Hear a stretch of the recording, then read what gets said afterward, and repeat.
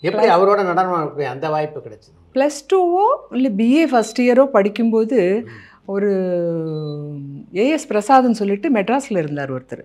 அவர் வந்து நிறைய வி- விவித விதமான டான்ஸஸை கலெக்ட் பண்ணி ஒரு குரூப் ஆர்கனைஸ் பண்ணி நார்த்தில் வார் விடோ வெல்ஃபேர் ஃபண்டுக்கு ப்ரோக்ராம்ஸ் கொடுப்பாங்க.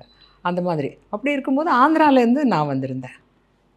கமல் வந்து தமிழ்நாட்டிலேருந்து அதே மாதிரி மகாராஷ்டிராலேருந்து ஒரு கதக் டான்ஸரு. இந்த மாதிரி நிறைய ஒரு பத்து பதினஞ்சு டான்சர்ஸ் வந்திருந்தாங்க. இவங்க எல்லாரையும் நாங்கள் எல்லாரும் ஒரு ஒன் மந்த்து ரிஹர்சல் பண்ணி ஐட்டம்ஸ் கற்றுட்டு அதுக்கப்புறம் ப்ரோக்ராம்ஸ் கொடுத்தோம்.